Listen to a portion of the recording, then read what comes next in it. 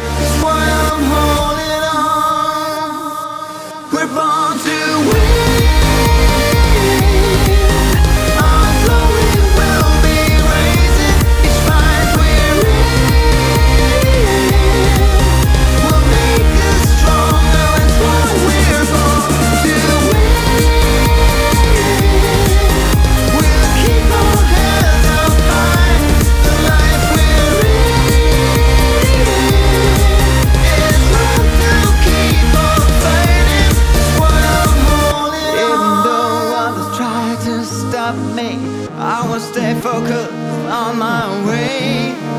I better don't think what might be and never hold back what I've got to say. The many thoughts that try to rule me and hold me back from doing what's gotta be done. I will defeat them and know this will be